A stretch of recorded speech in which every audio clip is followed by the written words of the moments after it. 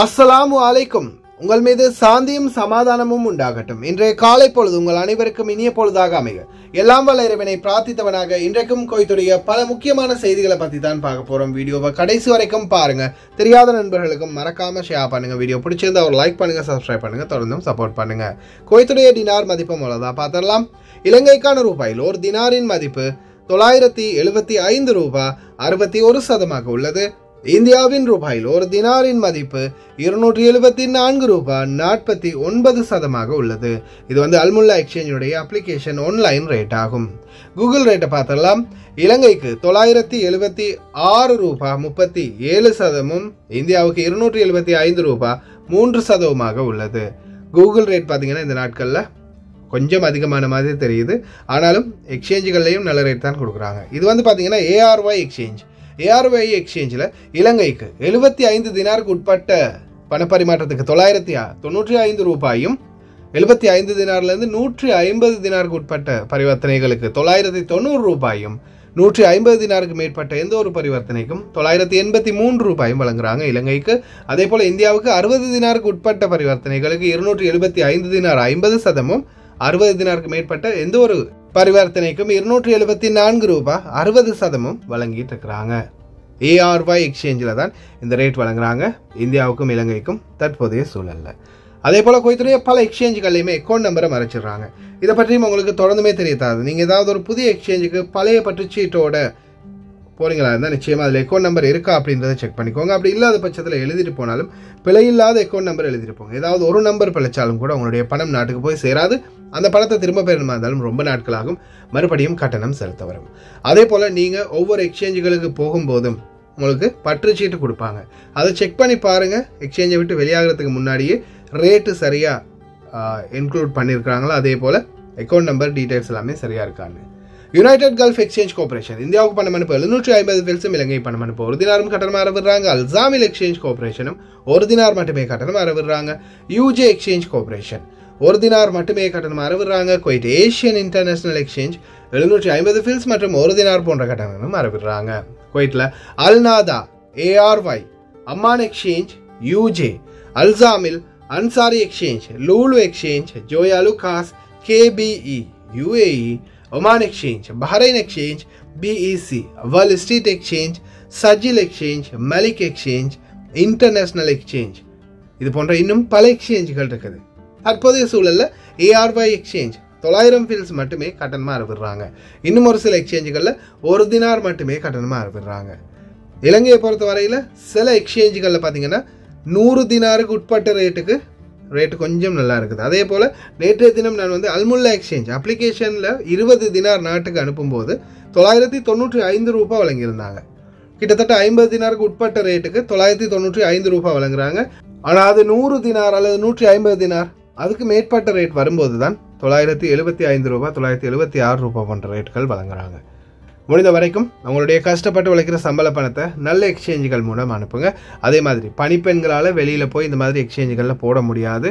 முடிந்த வரைக்கும் வீட்டு ஓட்டுநர்கள் இருந்தீங்கன்னா தயவு செய்து அவங்களுக்கும் இந்த வாய்ப்பை பெற்றுக் கொடுங்க. குவைத்துடைய தங்க விலையை பார்த்துடலாம். ஒரு கிராம் பதினெட்டு கேரட் தங்கத்தின் விலை பதினெட்டு தினார் ஐநூற்றி நாற்பத்தி ஏழு ஃபீல்ஸ் ஒரு கிராம் இருபத்தி ஒரு கேரட் தங்கத்தின் விலை இருபத்தி ஒரு தினார் அறுநூற்றி முப்பத்தி எட்டு ஃபேல்ஸ் ஒரு கிராம் இருபத்தி இரண்டு கேரட் தங்கத்தின் விலை இருபத்தி இரண்டு தினார் அறுநூற்றி எழுபத்தி ஆறு ஃபேல்ஸ் ஒரு கிராம் இருபத்தி நான்கு கேரட் தூய தங்கத்தின் விலை இருபத்தி நான்கு தினார் எழுநூற்றி இருபத்தி ஒன்பது ஃபேல்ஸ் கோயத்துடைய தங்க விலையும் இந்த நாட்களில் படிப்படியாக கம்மியாகிட்டு வருது. பார்க்கலாம் இன்ஷாலா எதிர்வரும் நாட்களில் இன்னும் அதிகமாக கம்மியாகுதான்னு அவசியம் இல்லாத பட்சத்தில் அவசரம் இல்லைன்னா இந்த நாட்களில் விலை கொடுத்து வாங்காதீங்க.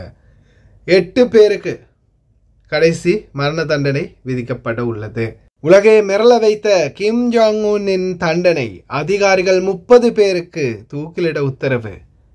சுலைபியா தைமா பிரச்சினை இனி வரும் நாட்களில் தான் ஆரம்பமாகும். ஐக்கிய அரபு ராச்சியத்தில் உள்துறை அமைச்சர் ஷேக் ஃபயத் யூசுப் சாவுத் அல் சபா அவர்களின் சந்திப்பு. டிக்கெட் போட்டாரு நாட்டுக்கு போக தயாராக இருந்தவர் திடீர்னு ஆளை காணும்.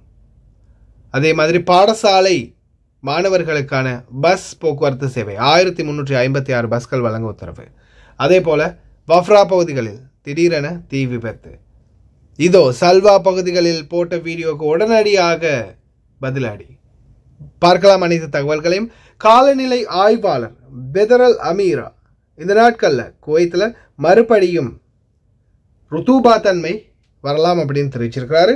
இந்த நாட்களில் எதிர்பார்க்கப்படும் வானிலை கடலோர பகுதிகளில் ஈரப்பதம் மற்றும் பாலைவன பகுதிகளில் புழுதி புயல்களும் அதிகமாக இருக்கும் மற்றும் எதிர்வரும் நாட்களில் சுறுசுறுப்பான மழைக்குரிய காலநிலையும் ஆரம்பமாகும் அப்படின்னு தெரிவிச்சிருக்கிறாங்க اليوم الأربعاء أربعة تسعة ومع دخولنا في شهر تسعة نقترب من أجواء الخريف اللي إن شاء الله راح ندخلها فعليا وفلكيا في عشرين تسعة مع تعامد الشمس على خط الاستواء السماوي فيتساوي الليل والنهار والحر والبرد. والضغط الجوي متساوي بين الرياح الشمالية والجنوبية فيحدث بينها تدافع. فتكون الرياح المتقلبة فنشهد الأجواء المتغيرة. فكل ساعة الجو في حال نلاحظ شوية رطوبة على المناطق الساحلية ثم تنشط الرياح على المناطق الصحراوية وفيها غبار ثم تغير في درجة الحرارة مرتفعة نهارا ومنخفضة ليلا. فندخل في أجواء الصفري وهو أول مواسم الخريف راح ندخلها إن شاء الله ونلاحظ هبات الغبار فتصفر السماء على هذا الأساس سموه الصفري فأجواء متغيرة الخريف راح ندخلها إن شاء الله خلال الفترة القادمة والله أعلم உலகையே அதிர வைத்த கிம் ஜாங் உன் வடகொரிய அதிபரின் தண்டனை முப்பது அதிகாரிகளை மக்கள் முன்னிலையில் தூக்கிலிட உத்தரவிட்டுள்ளார். தங்கள் கடமையை செய்வதில் ஊழல் மற்றும் அலட்சியம் காரணமாக இந்த தண்டனை வழங்கப்பட உள்ளது. கிட்டத்தட்ட நாலாயிரம் பேர் உயிரிழந்திருக்கிறாங்க வெள்ள பாதிப்பால். ஆனால் இந்த வெள்ள நீரோட்டம் இந்த மாதிரி சில சில விடயங்களில் ஊழல் பண்ணியிருக்கிறது தெரிய வந்த பிறகுதான் இந்த முப்பது அதிகாரிகளையும் உடனடியாக தூக்கிலிட உத்தரவிட்டிருக்கிறாரு. இருந்தாலும் சர்வ அதிகாரி தான். இந்த மாதிரி ஊழல் பெருச்சாளிகளுக்கு இந்த மாதிரி தண்டனை கொடுத்தா தான் மற்ற அதிகாரிகள் பயப்படுவாங்க. நான்காயிரம் உயிர்கள் பறி போயிருக்குது சரியான டனல்கள் சரியான அமைப்புகள் இல்லாததால் அதே மாதிரி தான் சவுதி அரேபியாவின் மெக்கா மக்கரமா மற்றும் மதீனா முனவரா இது போன்ற பல பகுதிகளில் நான்காம் தேதியான நேற்றும் மழை. அது சம்பந்தமான வீடியோ இருக்குது. சவுதி அரேபியா ஜித்தாவில் திடீரென காணாமல் போயுள்ளார் இந்த சகோதரர். கடந்த ஆகஸ்ட் மாதம் இருபதாம் தேதி நாட்டுக்கு போகிறதுக்கு டிக்கெட் போட்ட இவர் திடீரென காணாமல் போயிருக்காரு. முகமது அன்சார் முகமது அஜ்லான். இவருடைய பேர் இந்த டீட்டெயில்ஸையும் கேளுங்க සෞදි ජිද්ද හම්දානියා අසීසියා රෝඩ් මතාම් නිසාරා සවායා දරල් කලිච් ඒක තමයි අයිය කඩේ නම ඈ. සවායා දරල් කලිච් අයි අගෝස්තු විස්ත විස්ස තමයි මේ අතුරුදහන් වෙලා තියෙන්නේ අගෝස්තු විස්ස අඟහරුවාද දවසක கடந்த ஆகஸ்ட் மாதம் இருபதாம் தேதி தான் இவர் காணாமல் போயிருக்கிறாரு மத்தாமொன்னில் பணிபுரிந்த இவர் நாட்டுக்கு போகிறதுக்கு டிக்கெட்டெல்லாம் போட்டு ரெடி பண்ணினவர் திடீர்னு காணாமல் போயிருக்காரு. இந்த மேலே பார்க்குற நம்பருக்கு வந்து இவரை பற்றின தகவல் தெரிஞ்சால் சவுதி அரேபியாவில் இருக்கக்கூடிய சகோதரர்கள் தெரியப்படுத்துங்க. அதே மாதிரி உங்களுடைய சவுதி நண்பர்கள் ஜித்தாவில் இருக்கிறவங்களுக்கும் இதை ஷேர் பண்ணுங்க. குற்றவியல் சான்றுகளுக்கான பொதுத்துறையின் ஆளுமை புலனாய்வு மற்றும் தானியங்கு தேடல் துறையின் இயக்குனர் brigadier general Nayef Shadad Al Mutairi biometric கைரேகைகளை எடுப்பதற்கான சமீபத்திய சாதனங்கள் வழங்கப்பட்டுள்ளன. மேலும் செயல்முறை சிறப்பாக நடந்து வருகிறது. பயோமெட்ரிக் கைரேகையை செய்யாதவர்களுக்கான அனைத்து பரிவர்த்தனைகளும் முடக்கப்படும். குடிமக்களின் பயோமெட்ரிக் கைரேகையை மேற்கொள்வதற்கான காலக்கெடு இந்த மாதம் இறுதி செப்டம்பர் முப்பதாம் திகதி முடிவடையும். அதே போல வெளிநாட்டவர்களுக்கு இந்த ஆண்டு இறுதியில் முடிவடையும் என்றும் தெரிவித்திருக்கின்றாங்க. இதில் பார்த்தீங்கன்னா எந்த ஒரு பரிவர்த்தனையுமே சாதாரணமாக உங்களுடைய கஃபீல் இன்னும் பயோமெட்ரிக் எடுக்கலை செப்டம்பர் முப்பது தாண்டிடுச்சுன்னா அதுக்கு பிறகு உங்களுக்கு அக்காமா கூட அவங்களால அடிக்க முடியாது. புதுசாக வீசா கூட எடுக்க முடியாது. எதுவுமே பண்ண முடியாது. அதை விட பெரிய ஒரு ஆபத்து என்னென்னா அவங்களால ஏடிஎம் கார்டு கூட பாவிக்க முடியாது. பேங்க் அக்கௌண்ட் முதல் கண்டு பிளாக் பண்ணிடுவாங்க பணமே அவங்களால எடுக்க முடியாத மாதிரி. அதே மாதிரி தான் வெளிநாட்டவர்களுக்கும் விசா புதுப்பிக்க முடியாது. கடைசியில் பயணத்தடை வரலாம். அதே மாதிரி பணம் அனுப்புறதுல கூட சிக்கல் வரலாம். இந்த மாதிரி பல பிரச்சனைகளை முகம் கொடுக்க வேண்டி வரும் எதிர்வரும் நாட்களில் இந்த ஃபிங்கர் பிரிண்ட் எடுக்காதவங்க பயோமெட்ரிக் எடுக்காதவங்களுக்கு. இன்ஷா முடிஞ்ச வரைக்கும் வேகமாக எடுக்க பாருங்கள் உங்களுடைய கஃபீல்கள்கிட்டையும் இதை வந்து அனௌன்ஸ் பண்ணுங்கள் முடிந்த வரைக்கும். வியாழன் ஐந்து ஒன்பது இரண்டாயிரத்தி இருபத்தி நான்கு. எட்டு வெளிநா எட்டு நபர்களுக்கு வந்து தூக்கு தண்டனை. வெளிநாட்டவர்கள் குடிமக்கள். இதில் வந்து பார்த்திங்கன்னா கொலை மற்றும் போதைப்பொருள் கடத்தல் வழக்குகளில் ஒரு பெண்ணுக்கு மரண தண்டனை நிறைவேற்றப்படும். அதே போல் தன் மாமாவை கொன்ற ஒரு பெண்ணுக்கு. அதே மாதிரி ரெண்டு பெண்கள் இதில் தூக்கு தண்டனை கைதிகளாக இருக்கிறாங்க. ஆறு ஆண்கள். அதே மாதிரி அல் வஃப்ரா பகுதிகளில் துப்பாக்கிச்சூடு நடத்திய ஒரு நபர். அதே மாதிரி சல்வா பகுதிகளில் ஒரு ஷேக் அவரது நண்பர் மற்றும் அவரது பணிப்பெண்ணை கொன்ற ஈரானியர்கள் இருவருக்கும் தூக்கு தண்டனை. வெளிநாட்டவர்களே இனி வரும் காலங்களில் போதைப் பொருள் சம்பந்தப்பட்ட எந்த ஒரு வழக்கில் பிடிபட்டாலும் அதிகபட்ச தண்டனையான மரண தண்டனை என்பதை தயவு செய்து ஞாபகத்தில் வச்சுக்கோங்க. அதே மாதிரி ஏதாவது ஒரு பிரச்சனை வரும்போது முடிந்த வரைக்கும் அமைதியாக அமைதியை பேண பாருங்கள் சட்ட ரீதியாக முயற்சி பண்ணுங்கள் சண்டை ரீதியாக முயற்சி பண்ணும்போது கை கலப்பில் ஏதாவது ஒரு விதத்தில் ஒருத்தரோட உயிர் போயிடுச்சுன்னா நிச்சயமாக அந்த உயிருக்கு உயிரான மரண தண்டனை வந்து கிடைக்க மிகவும் அதிகமான வாய்ப்பு இருக்குது. இனி வரும் காலங்களில் குவைத்தை பொறுத்த வரையில் போதைப் பொருள் வியாபாரிகளுக்கு இது சாதாரணமாக கள்ளச்சாராம் காய்ச்சிறவங்க முதல் கொண்டு இதே தண்டனைக்கு உட்படுத்தப்படுவாங்க அப்படின்றதை ஞாபகத்தில் வச்சுக்கோங்க. முடிந்த வரைக்கும் இந்த நாட்டுக்கு வந்திருக்கிறோம் கஷ்டப்பட்டு உழைக்கிறதுக்காக ஏதாவது ஒரு வழியில் நல்லபடியாக நேர்மையாக சட்டத்துக்கு புறம்பு இல்லாமல் உழைச்சிட்டு பணத்தை எடுத்துகிட்டு நாட்டுக்கு போகிற வழியை பாருங்கள் போதைப் பொருள் விபச்சாரம் மற்றும் சில குற்றச்செயல்கள் அதே மாதிரி அடித்தடி சண்டை சச்சரவுகளில் தயவு செய்து கலந்து கொள்ளாதீங்க.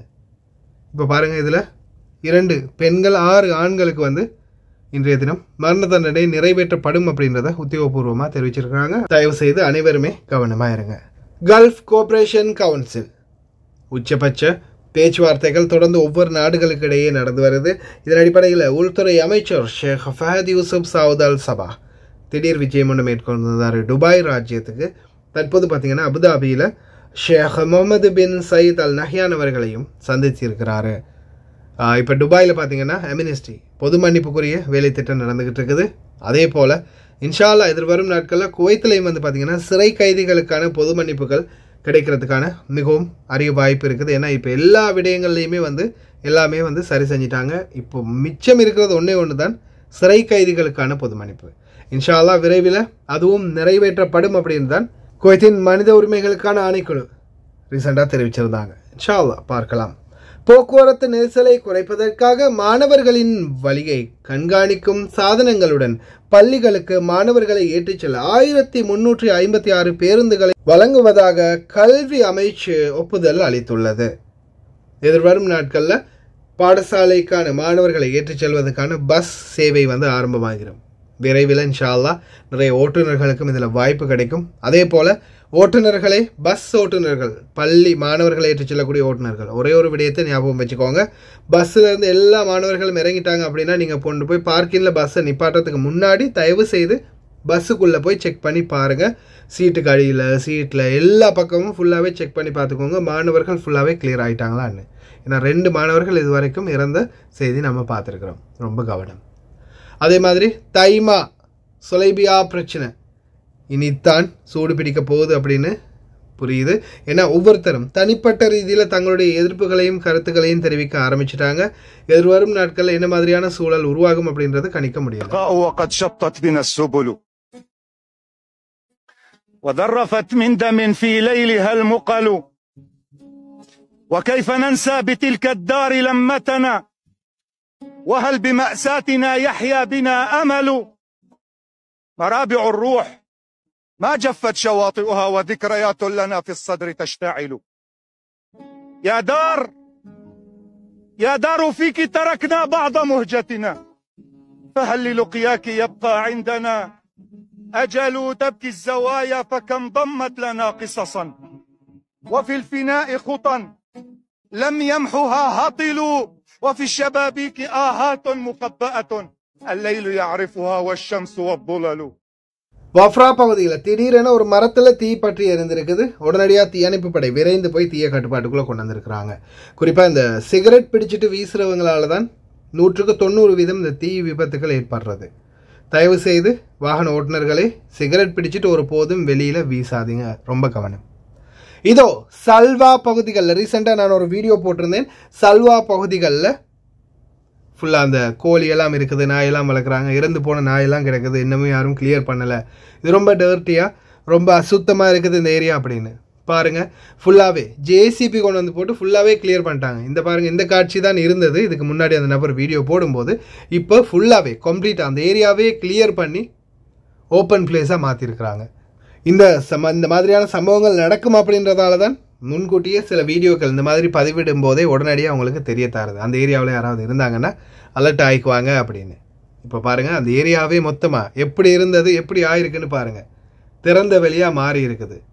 இருந்த எல்லாத்தையுமே ஃபுல்லாகவே கிளியர் பண்ணி அந்த ஏரியாவே மொத்தமாக எம்டி ஆக்கிட்டாங்க.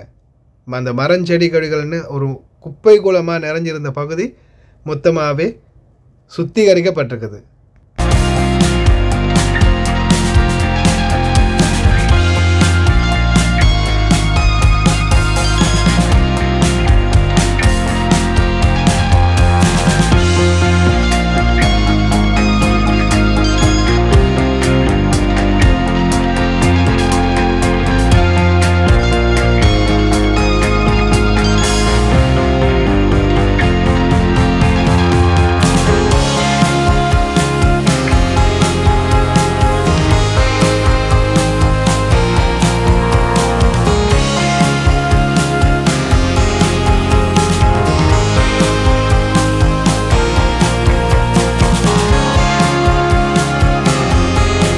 அல்ஹம்துலில்லா ஏதோ ஒரு மாதிரியா மலைக்கான பிரச்சனையெல்லாம் முடிஞ்சிருச்சு சவுதி அரேபியா ஒரு மாதிரியா தெளிவாகிருச்சு அப்படின்னு நினைச்சுக்கிட்டு இருக்கிற அந்த சமயத்துல நேற்றைய தினம் நான்காம் தேதி மறுபடியும் மெக்கா மதீனா சவுதி அரேபியாவின் இன்னும் சில பகுதிகளில் மழை வந்து மறுபடியும் ஆரம்பிச்சிருக்குது அதுலேயும் குறிப்பா இயற்கை அனர்த்தம் எந்த அளவுக்கு சீற்றத்தை காட்டியிருக்கு அப்படின்றத வீடியோக்கள்ல பாருங்க لا إله إلا الله يا ربي لا ترينا قوتك يا الله الله يرحمنا برحمة راحة المجالس ب بجدرانها لا حول ولا قوة إلا بالله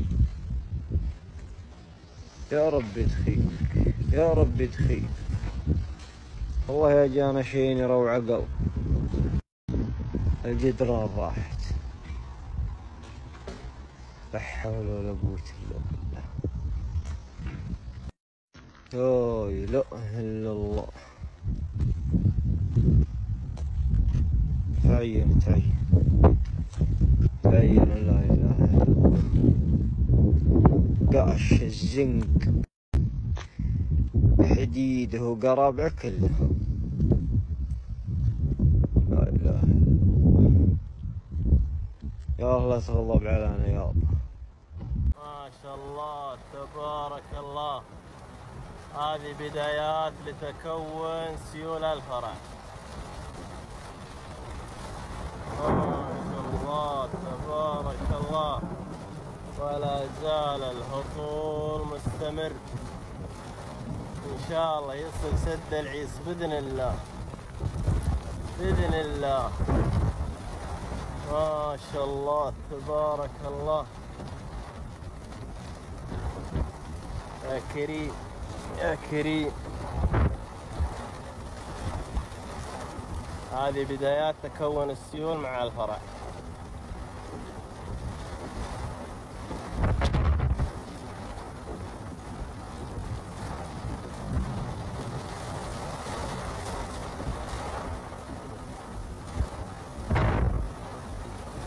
والهطول مستمر.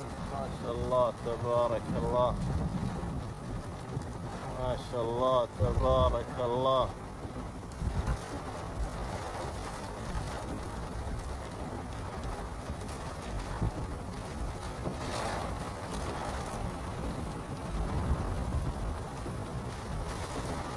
سحابة ولا على البال ولا على الخاطر. ما شاء الله تبارك.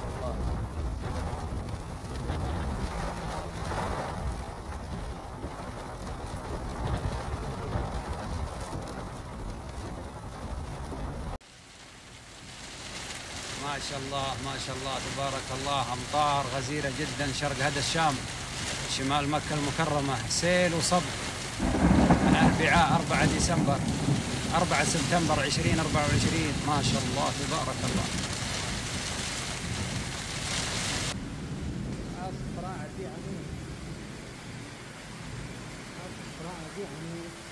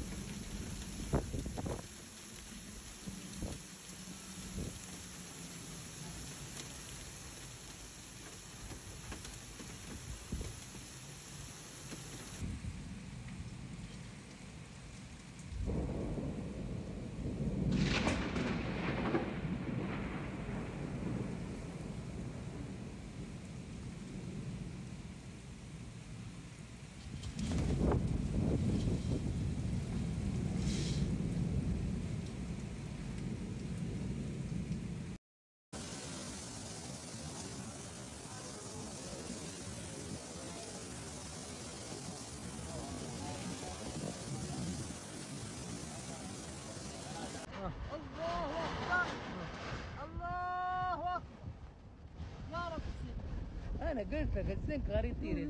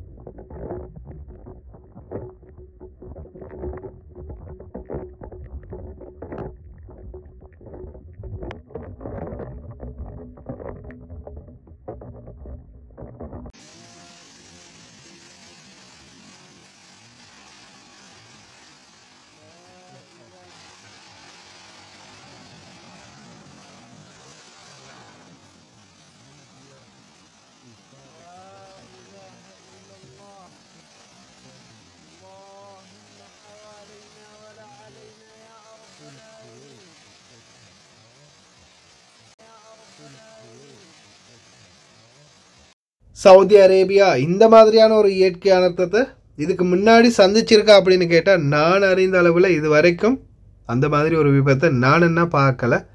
யாராவது இதுக்கு முன்னாடி இதை மாதிரி இதை விட பெரிய விபத்துக்களை சந்திச்சிருந்தீங்கன்னா மறக்காமல் கமெண்டில் தெரிவு பண்ணுங்க. ஏன்னா நிறைய பேர் குவைத்துக்கு வந்திருக்கிறவங்க சவுதியில் இருந்தவங்க. அதே மாதிரி சவுதியில இருந்து நம்ம வீடியோ பார்க்குற நிறைய பேர் இருக்கிறாங்க.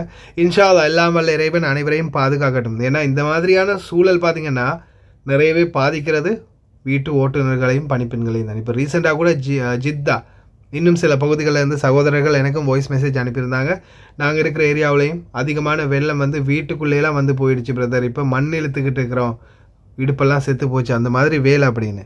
பாவம். மறுபடியும் திருப்பியும் அதே நிலைமைனா யோசிச்சு பாருங்கள் அல்லா தான் பாதுகாக்கணும். இன்ஷா அல்லாஹ் நம்மளால் முடிஞ்சது பிரார்த்தனை மட்டும்தான். அதே மாதிரி தவறுகள் அநாகரிகம் அநீதிகள் அதே போல் அட்டகாசங்கள் நிறைய நடக்கும்போது இறைவனுடைய கோப பார்வை மற்றும் இறைவன் நான் ஒருவன் இருக்கிறேன். உங்களையெல்லாம் படைத்து பரிபாலித்து கொண்டு இந்த உலகத்தை ஆண்டு கொண்டு இருக்கிறேன் அப்படின்றத ஞாபகம் காட்டுற மாதிரியும் இருக்குது. அல்லாஹ் கரீம் இன்ஷா அல்லா கடைசி வரைக்கும் பார்த்த எல்லாருக்குமே ரொம்ப நன்றி. தெரியாத நண்பர்களுக்கு மறக்காமல் ஷேர் பண்ணுங்கள் வீடியோ பிடிச்சிருந்தா ஒரு லைக் பண்ணுங்கள் சப்ஸ்கிரைப் பண்ணுங்க. இன்னொரு நல்ல வீடியோவில் சந்திக்கலாம்.